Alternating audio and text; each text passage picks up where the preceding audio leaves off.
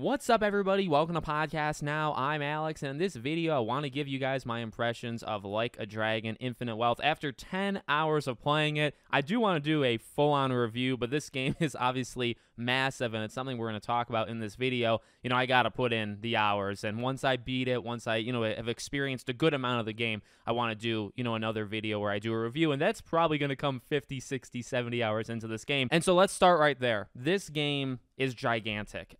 I've spent, like I said, a, a, little over 10 hours when I'm recording this. I'm actually going to put a, a, lot of time into this game on Sunday, which is also when you'll see this. I am loving the heck out of this thing, but the game is so big. There is so much to do. And you know, every chapter they add a little bit more. They'll add a mini game like that crazy taxi, you know, mini game, and you can sink hours into that. I haven't even gotten to the island, which the island can take hundreds of hours just on its own.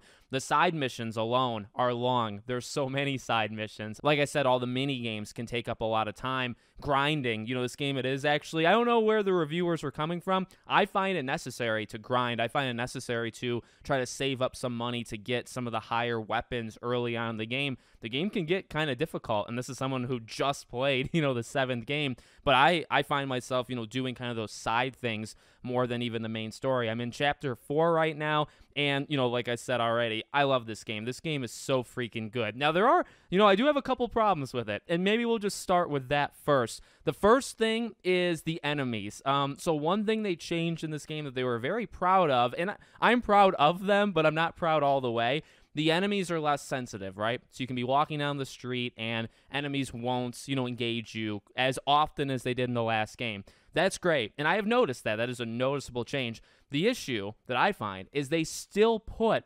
dozens of enemy groups everywhere. You can't go down a street without finding like five different groups. And there's some areas where it's a, a lot bigger of a problem. There's some times where it's a very thin street or if you go into kind of a new you know area of the map and maybe you want to kind of sneak around yeah, the enemies won't notice you as much, but if there's seven different groups of enemies and they're the purple ones, they're the ones that are just going to destroy you, there could be like seven groups of them in like a 50 foot radius. And so you can try to go around them, and yeah, they're less sensitive in seeing you, but there's too many of them. Um, and that that's it. For me, it's standing out. I wouldn't honestly say it because you could say it's a nitpick.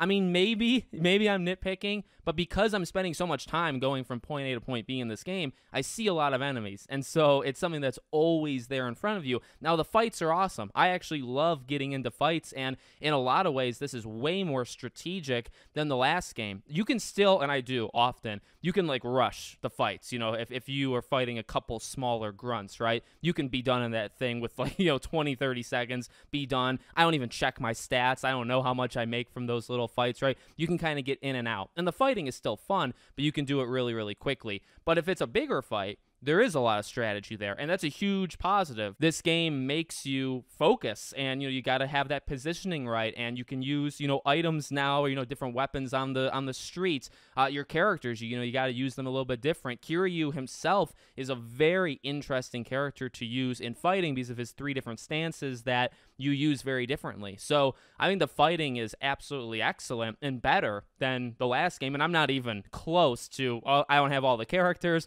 i don't have all the weaponry. You know, there's so much more that the fighting is going to give you in this game past the 10 hour mark. But even where I'm at, it's so good. But I don't, I still don't want to fight, you know, every 10 seconds. And that was a problem with the last game. It's still a problem with this game.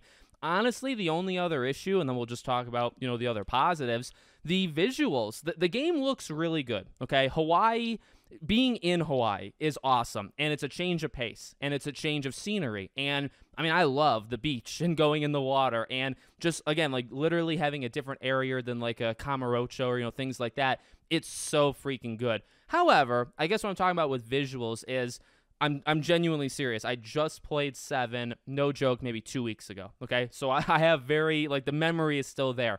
The improvements visually are not really there. The cutscenes where it looks at its best are pretty close to the last game. The minute to minute visuals are extremely close. There, there's just some like close ups of characters where the visuals don't look all that good and they don't look improved at all from the last game. And and that's just something I've personally noticed. It doesn't matter all that much. And I also have thought, well, this game is enormous, right? There's so many different character models. There's so many just assets and things, you know, compressed inside it that is everything going to look amazing? No. And it does still look really good. I'm not saying this is a bad looking game. It absolutely isn't. But is it an improvement over the last game? I'm sure it does literally look better, but not by much. You know, the last game was many. It was like what four years ago, I believe. So does it look like this game came out four years after the last one? No, no, it does not. That's it. That's all I got really for negatives because the positives, the story. Well, okay, maybe one more half negative. Story is really good at points, but it is slow. And I did see this in reviews. I saw that the story picks up as it goes.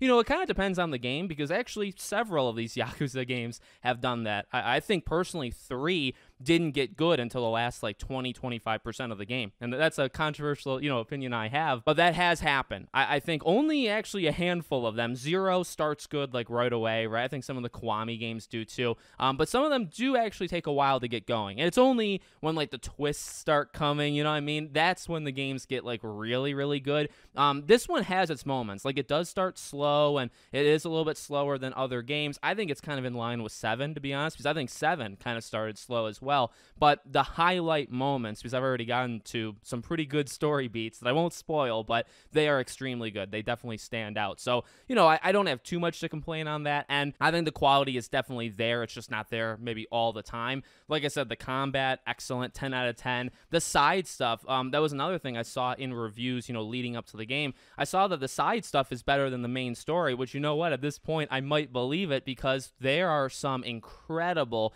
side missions. Honestly, honestly, the variety of side missions is some of the best in the entire franchise. It, it really is. Now, I haven't done all of them. I've probably done, though, like 20 or so, maybe 20 plus side missions in this game, completed them. And they give great rewards. They're all very different from each other. And they're just a blast. They're fun to play. They're different in the gameplay. You know, oftentimes, and maybe this will happen in this game, but I just don't know for sure. You know, sometimes it'll be go talk to this character, then go talk to that character, fight a group of guys, and, and you're done, right? And that does happen, you know, from time to time. But there's things like waiting on people, like you're literally a waiter at a restaurant. Uh, there's one with a uh, a man about his older wife who's actually like ready to pass on, and I won't spoil, you know, what happens, but you know, the side mission in Spider-Man 2 that people were praising for how like really great it was as a side mission. This I think is very close to that. Honestly, I think the impact is almost equal. So there's a lot of amazing, amazing content in the side stuff for this game, and, and I'm honestly really, really impressed because right now, yeah, it actually is better than the main one. And you know, I mentioned some of the the mini games. I'm having fun just doing everything. That, that's something you know, fun has definitely been like an argument in the gaming uh, sphere for a little while. What about games that just you know you have fun playing? This honestly is one of them. Like the map is so big and I just enjoy going around. And there's just there's things to pick up. There's things to trade. You know, you can go on the beach and pick up trash and you know exchange it for different valuables. Right? Again, earning money. There's like 50 ways of earning money. There's characters to talk to. There's him walking down the street, Ichiban saying aloha to everybody, and you make friends. You know, on the fly. You raise your kindness and your passion, and there's just so much to do. I- I'm serious. There's so much, and it actually Sometimes it can get a little overwhelming. Um, there's some of these things, like I just got to the uh, Sujimon battles, and like there's a lot of mechanics and there's a lot of reading you have to do where it's like, man, this is just a game inside a game. The uh, matchmaking app where you literally go on freaking dates and you have to, I actually love it. I think it's really clever. I think it's really fun. Um, there's just a lot packed into it beyond, and, and it, you know, that is something that these games, they have always done it, but I do think it's become more extreme, maybe in a good way, in recent years where it still does have an overall pretty good story. I don't think they've reached the, the, the heights of the, the better stories. I think the better stories were earlier on. Honestly, six I really liked. I but I'm kind of I feel I'm in the minority there. Seven, I did think it was good, but I don't think it was like the, the best story they've ever told. And then eight, you know, so far it's pretty good, but it's not, you know, amazing or anything, right? So I feel like they've supplemented it, right, with just everything else. There is more to do now than ever before. You can do the the taxi mini game 500 times if you want to. You can max out the the dating mini game, which I, have done it a few times. You can do it as many times as you want, right? There, there's a microtransactions in the mini game, and they make fun of that in the game. So there's just so many side things that you can really lose yourself and you know, we'll see if it's at a cost of the the main story. You know, so far I don't really think it's it's that much lower than any previous games. It's great to see Kiryu back. I mean, we did just play, you know, the man who erased his name, so we got him, but he's great in this. Ichiban and Kiryu's, you know, back and forth with each other are really good. I've only seen a few new characters um, at this point, and so far I really like them too. These games, I've said this before actually on my retrospective channel, Podcast Now Back to the Past, they do a really good job of just bringing in new characters. I was afraid with Ichiban because it's like, you know, Kiryu, you've been with him so long, but if you play through, you know, zero all the way up to six, you realize, oh my God, they, you know, Akiyama, characters like that, right? Obviously, Majima have been there for a long time, but there's so many characters they introduce pretty much in every game. There's some carryovers, but there's also a lot of new characters each time. They're always good. like there, uh, there's a couple that don't stand out. The baseball player that I can never remember his name. There's a reasoning there because I just didn't like him. There's a few. There's a few characters that don't stand out, but I would honestly say 90% of the time they introduce great like side characters and they they inject them seamlessly. Like they immediately make you like them where they're just part of the the, the general cast. So that's always been a strength of the of the franchise and it's still there now. So overall, do I like it? Of course I like it. I thought I was to like it. Here's the thing. It's more of 7. If you did not like 7, there's absolutely no way you're going to like this. But I think almost across the board, it's an improvement. This is like the refined version of 7. The combat is so much better. Okay, it really is. And I, again, I, I think there's only more to see with the combat. You're bringing in a familiar face with Kiryu. You're expanding upon a lot of the side stuff that you did. The side missions, I feel, are maybe better than ever. So it's what you got in 7 times like 10, and some things have been injected, you know, with some steroids to really make them even better. It is, uh, it's impressive. It really is. So I'm going to finish this video and get back to playing it. There's no way, again, like 10 hours. I'm 10 hours in. Story wise, I'm like 20%. So if I just did the story, could I finish this in, you know, 25, 30 hours? Yeah. But again, there is some grinding necessary. Um, and the reviewers didn't say that. In fact, they said the opposite. I don't agree. I think you need to be, you know, at least the same level as your opponent, if not maybe a level more. If you fight a lot of opponents that are like two, three levels ahead of you, I don't, you know, 10 hours in, I don't think I stand a chance. So, and I feel like I'm pretty good, you know, uh, figuring out how to fight these guys. So I don't know. I personally feel I need to do it. So why am I saying that?